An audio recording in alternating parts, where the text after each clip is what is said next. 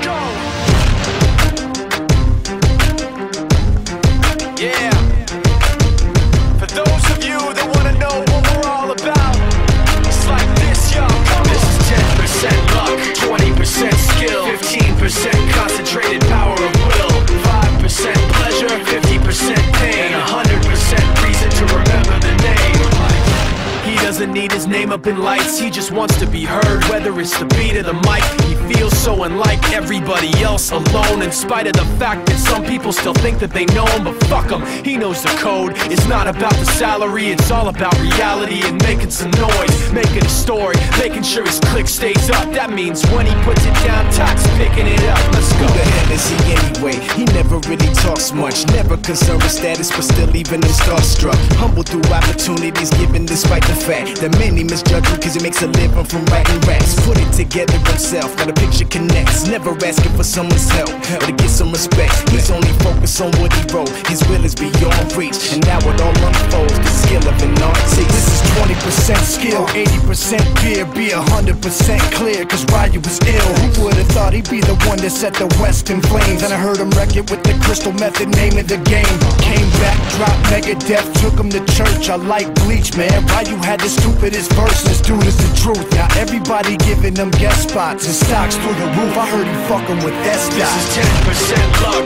20% skill 15% concentrated power of will 5% pleasure,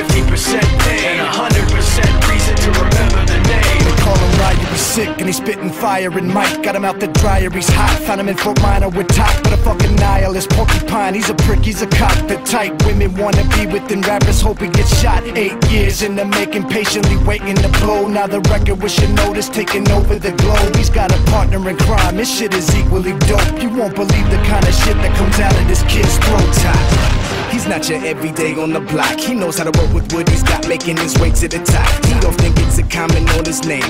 Keep asking him, was it given that birth or does it stand for an acronym? No, he's living proof.